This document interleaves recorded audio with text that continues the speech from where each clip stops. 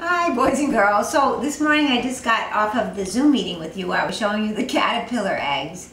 And then I was thinking about other animals that hatch from eggs besides caterpillars. So what I'm going to do is post a video on uh, Class Dojo of a really, really great book that I usually read in the springtime called Chickens Aren't the Only Ones, all about all kinds of animals that hatch from eggs. And it's by Ruth Heller, and it's a really good book. And while I'm thinking about eggs, I also mentioned to you this morning that I was going to put a plastic egg in your packet that your parents are picking up because I usually do this in the spring in our classroom too, but these are they're just plastic eggs. They won't break and they're not real. It's nice because they don't they don't break. And so I think I have enough to put two of these in your packet.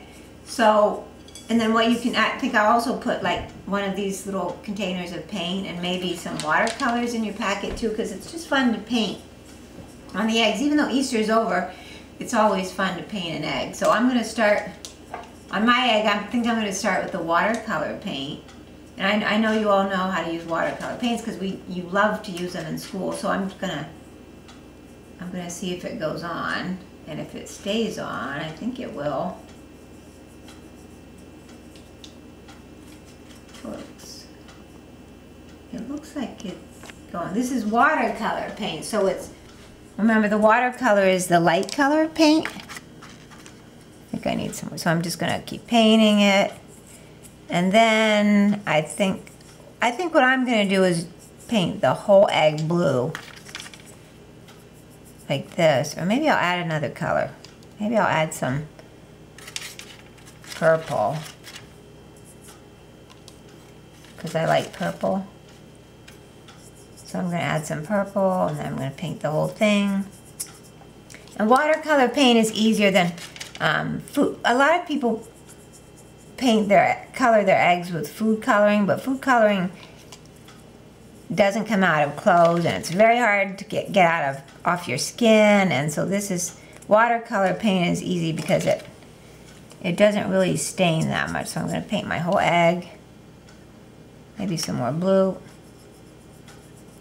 Maybe I, maybe I'll add some green. I like green. Sometimes green looks nice with, oh, that's pretty. So, there, so I have lots of colors. So then, now I think I'll use this. This is a darker kind of paint because this is not watercolor. So I'm going to wipe my brush off a little bit because I don't think I need water now anymore. Dry the egg off a little bit too. And then I think I'll paint like polka dots maybe.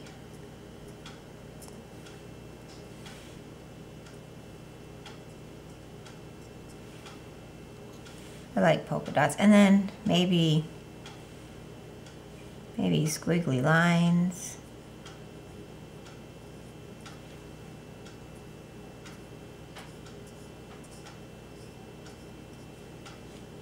There. Maybe some more polka dots.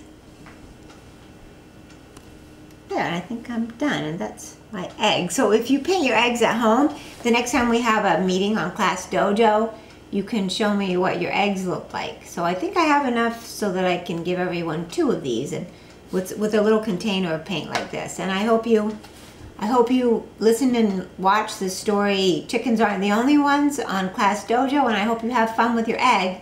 Okay, bye. See ya.